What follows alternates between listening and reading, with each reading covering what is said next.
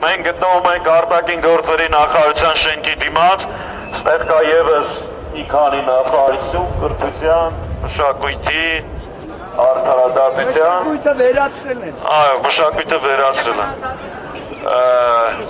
Մեր նպատակն է արգելապակել նախարարությունների շենքը, բայց մասնավորապես արտակին գործերի նախարարության շենքը,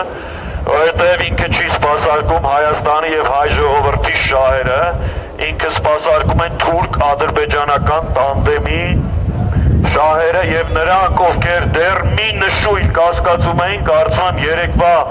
բրուսելյան հանդիպումից հետո այլևս կասկածի տեղ չունեն։ Այս շենքը Դավաճան Նիկոլի գլխավորությամբ Արցախյան հակամարտության նշաձողը իջեցրել է այն մակարդակի, որ արդեն խոսվում է Ղարաբաղի էթնիկ հայության մասին։ Խոսվում է, որ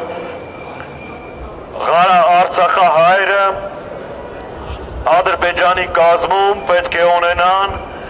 լայն իրավունքներ, ազատություններ, անվտանգություն ու պատկերացնում ենք դա պետք է ապահովի Ադրբեջանը։ Հստակ այսօր Հայաստանը տանում է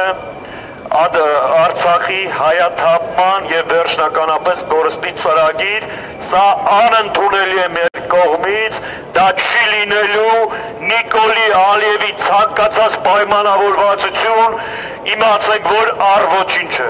Այս ամեն ինչի համար կա մեկ լուծում, այս դավաճան սրիկաներին պետք է հեռացնենք եւ վեր։